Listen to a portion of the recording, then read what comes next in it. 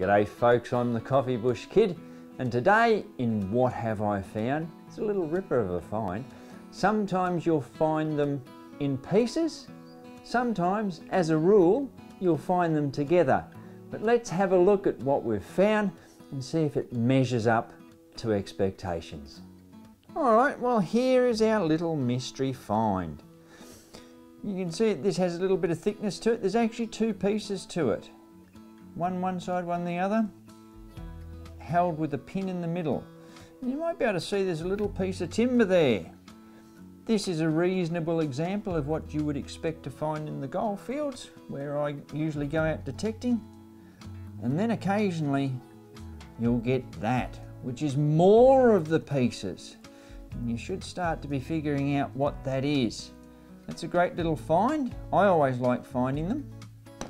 And what it is, to put you out of your misery, if you don't know what it is, there we go. Those are actually the fulcrum ends of a folding ruler. And if we do this, there you go. That's what it is. It's that end there that opens up the ruler. You can see in this one, it's got the pin. Both of those have the pin. This one, when we look closely, does actually have inches scribed in it. And uh, I reckon they're always a great find. I use one of these, as, as I was taught to call it, a stick of inches. But then again, as my son usually refers to that when I start talking about inches this and inches that, that I'm talking in the devil's tongue. But I always reckon they're a great little find.